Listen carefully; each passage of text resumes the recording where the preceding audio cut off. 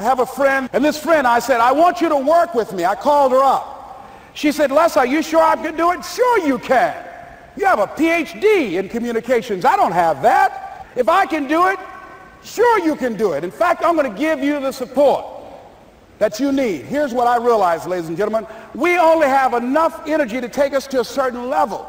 But it's necessary that we assemble ourselves with other people who share our vision, other people that can see it for us, to give ourselves a home court advantage.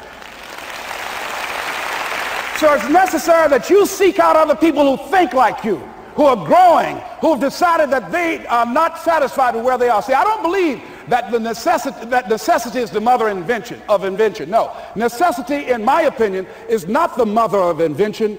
Refusing to accept things the way that they are is the mother of invention.